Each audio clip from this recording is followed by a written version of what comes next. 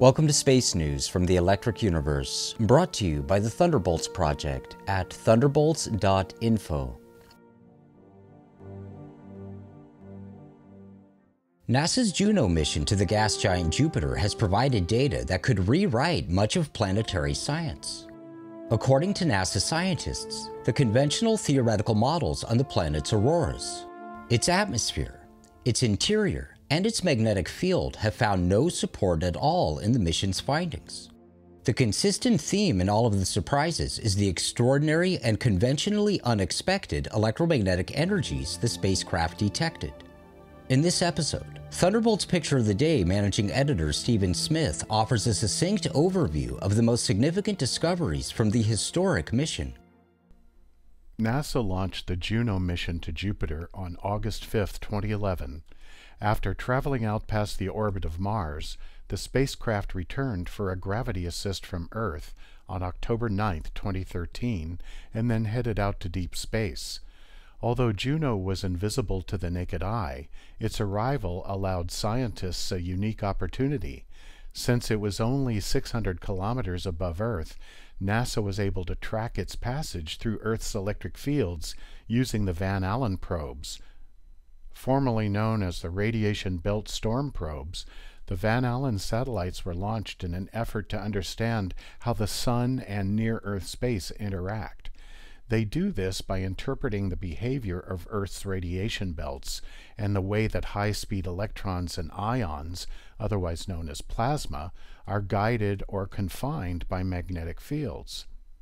The two spacecraft are in highly eccentric orbits, passing each other and dipping in and out of the belts many times, allowing them to understand and disregard effects of their own presences in orbit, as well as filtering out spatial anomalies. It was the small electrical effects of the Juno probe on the belts that allowed the Van Allen mission to see it passing by. Plasma is often described as the fourth state of matter. However, since observations confirm that it makes up more than 99% of the universe, it should be reckoned the first state. It has only been in the last 100 years that scientists have given credence to the possibility that we might be living in a dynamic solar system where electricity plays an important role. It is evident that the sun's electric field extends for billions of kilometers, influencing the planets and their motions, as well as how they interact with each other.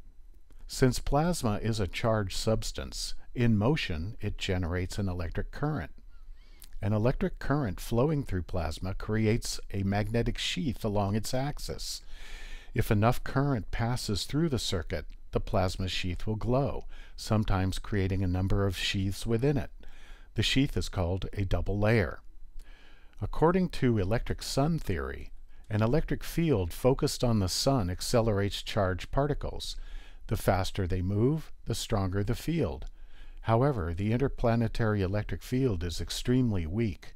No instrument is yet able to measure the voltage differential across a hundred meters, but the solar wind acceleration over its tens of millions of kilometers does confirm that the Sun has an electric field. The Van Allen detectors show that, over time, the capabilities of future space missions will increase, taking detailed measurements of interplanetary electric fields might not be so far off after all. Juno entered orbit around Jupiter on July 4, 2016. Jupiter is the largest planet. It is so large that all of the other planets could fit comfortably inside it. Jupiter rotates in 9.9 hours, causing its diameter to be 9,275 kilometers more than the distance between its poles, and this is due to centrifugal force. Since there are radiation belts around Jupiter similar to the Van Allen belts that surround Earth, but thousands of times greater in strength, Juno's electronics are housed within a titanium shell, so that the energetic particles trapped around Jupiter won't interfere with its systems. As previously reported, Jupiter's moon Io dissipates more than 2 trillion watts as it revolves through Jupiter's electromagnetic fields. The electric charge flow creates lightning in the planet's upper atmosphere, as well as intense aurorae at the poles. Recently, mission scientists announced that Jupiter is even more electrically active than they predicted. Instead of a 5 Gauss magnetic field, Jupiter measured level is as high as 9 Gauss, and this is compared to Earth's 0.5 Gauss field. The field is also quite irregular, suggesting to astrophysicists that there might be a nonconformity in Jupiter's core. According to mission team member Jack Connerney, quote, Jupiter's magnetic field is spatially complex, and there were deficits of up to 2 Gauss elsewhere. We may need many more orbits to resolve this. Unquote. Conventional theories assume that the universe is electrically neutral, so when observations confirm electrical activity, localized phenomena are invoked. So-called tidal forces and volcanoes are said to cause the activity on Io rather than the several million ampere charge flow between it and Jupiter. In the case of Jupiter's rings, charges detected in the ring plane were said to be caused by sunlight and shadow rather than by an electric circuit between Jupiter and the Sun. According to a 2008 press release from JPL, Jupiter's rings are electrically charged. However, astronomers propose that Jupiter's moon Io is kneaded like dough by Jupiter's gravity, causing charged particles to be ejected by its volcanic plumes. The ion flow is an electric circuit to and from Jupiter. More than eight years ago, the picture of the day addressed Io's quote unquote volcanic plumes. It was shown that they are actually plasma discharges from the moon to the gas giant. Some planetary scientists have begun to acknowledge an electrical connection after Io's footprint was seen in Jupiter's polar aurora.